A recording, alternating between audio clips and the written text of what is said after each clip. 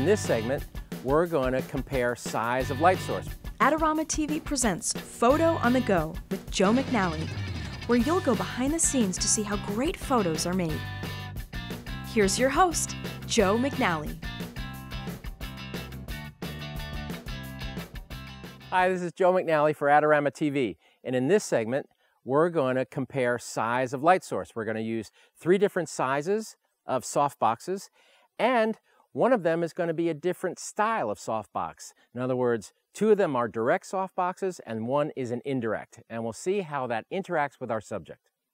Okay, to experiment with these softboxes, we are truly blessed because we're in a very beautiful place. We're in the jungles of St. Lucia in the Eastern Caribbean, and even more blessed, we have a wonderful subject, Claudette, who's one of the most beautiful singers I have ever heard. And she also has one of the most gentle personas I've ever had in front of my lens. And I feel very graced by her presence. And we're going to shoot some pictures. And she is putting up with us.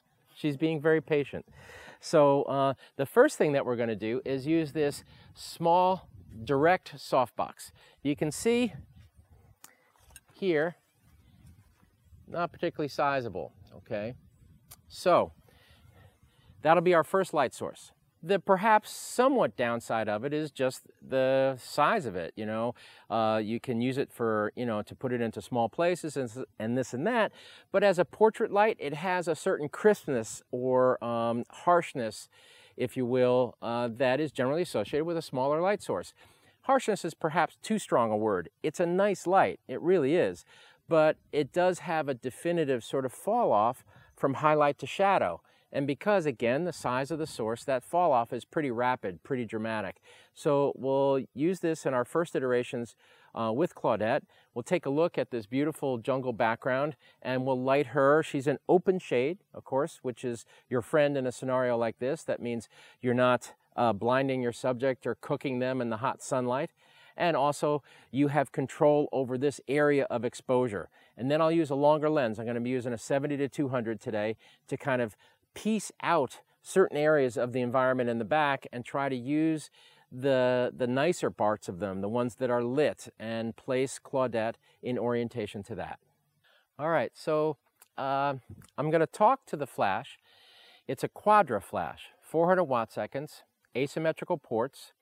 The small octa is on there, okay? I'm gonna talk to it with a Skyport radio re uh, receiver transmitter setup, okay? Nice thing about these is that the Quadra has a receiver embedded inside the pack. So I'm gonna transmit from here and I can talk to the pack literally. I can adjust it power-wise up and down in tenths of f-stops.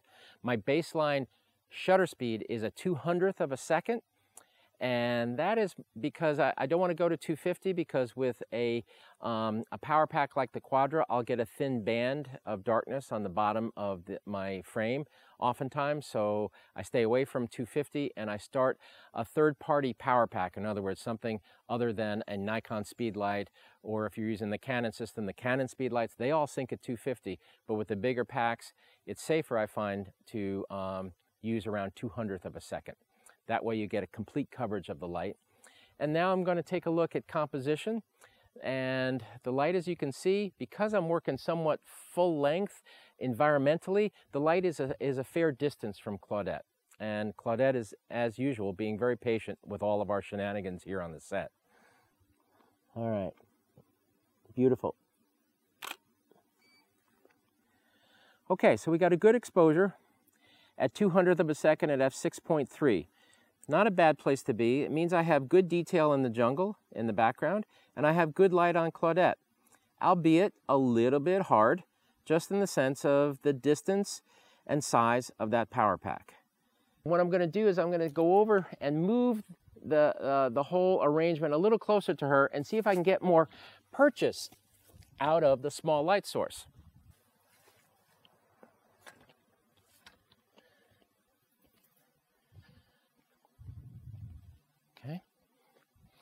Now that should give me just a little more coverage, a little tiny more softness. And of course, it's not a TTL light. I moved it closer to her. So at that power rating, she's gonna be a bit brighter due to the just simple fact of exposure. Wonderful. Beautiful. it's a really nice portrait. Um, it's got edge and drama to it. Again, it's the smallness of the light source and the distance from the subject that's giving that crispness and that rapid fall off into shadow. All right, so as you can see in the background, hopefully, we've changed up the light source. We've gone from the small octa to what is known as the deep octa. It's still a direct softbox, meaning the, the actual flash head itself is pointing towards my subject, but it is considerably bigger and it's deeper. If you notice the profile of the first light, fairly average. This light now has a deepness to it and it collimates the light and I find it to be very, very rich uh, light source. So let's see what this light does now. All right, here we go. Beautiful, Claudette, beautiful. Okay, let's take a look at that. It's pretty nice. It is definitely smoother. Still directional, still has fall off, but it has a certain richness and creaminess to the light that um, is uh, just a really, really beautiful light source. It also falls off, it gradates as um, I have full length pictures here. The, uh, the value down at Claudette's feet in the guitar is gradated down. So again, the, those ed that edge baffle is working for me. It's keeping the light collected up around Claudette's head and shoulders where we really want it to be. So I made a, uh, I've, I've kept the deep octa in play because I like the light, it's very nice. Uh, but I thought I'd bleed in a little more ambient light and brighten the background.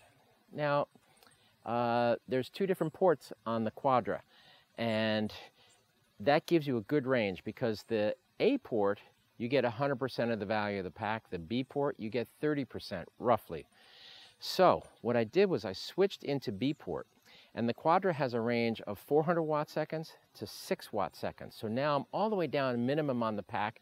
That has forced me to open up my f-stop a bit, go from 6.3, and I'll probably now be in the realm of maybe f4 to 8.5, somewhere's in there.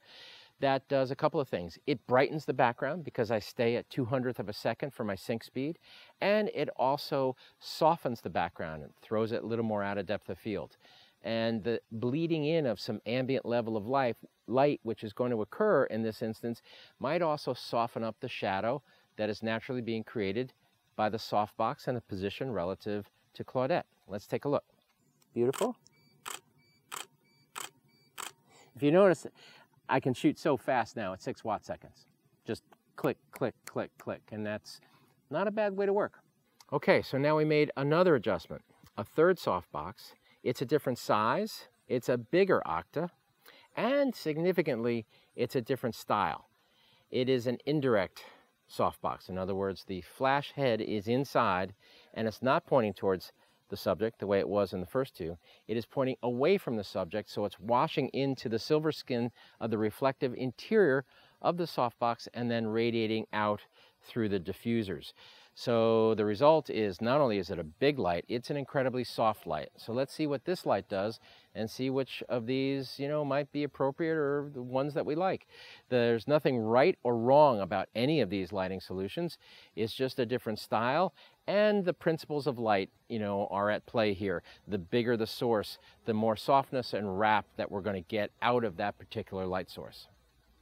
Okay, I'm going to ask you, Claudette, to slowly walk in towards the light source, please. Great. Perfect. Now she has moved closer, so I'm going to put a little more f-stop into my solution here. I'm going to go to F9. going to take a stop out. So what I'm doing now is just kind of playing the game of ratios. Whatever exists compared to what you layer over what exists with your flash that's constantly the game you play with shutter speeds and f-stops, bringing the background up or down, bringing the foreground up or down. And as always, as a flash photographer, when you think you're going to make a flash portrait, ironically, the most important light that you confront on location is the available light because that condition drives your solution, it drives your source, oftentimes the choice of your source, the choice of the power that you're going to put into that source, all those things. Okay, so quickly we just went through three different light sources in basically the same position relative to the subject and just compared and contrasted what those various sizes did from a small to kind of a medium to a big light source and also experimented with a little different style of softbox and indirect. That was the biggest one that we used. And you can take a look at the results from sort of a little bit harder with an edge all the way through something that's very, very soft. And it's all about the size of the light source and the closeness to subject and your options in terms of light shaping tools. Once again, it's Joe McNally for Adorama TV with a segment on size of light shapers.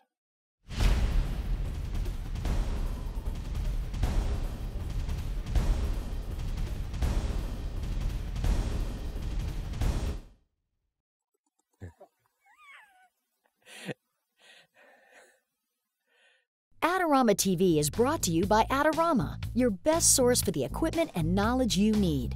For all the latest photography, video, and computer gear, visit Adorama.com. Place your order by 7 p.m. and it ships the same day. Plus, the next time you're in New York City, be sure to visit our store located on 18th Street between 5th and 6th Avenue. Check out the Adorama Rental Company for professional cameras, lighting, computers, and more. We'll help you make the best selection to match your needs while giving you the knowledge to achieve the best outcome from your rental. Adorama is your complete solution for equipment, printing, training, and more. Adorama, more than a camera store.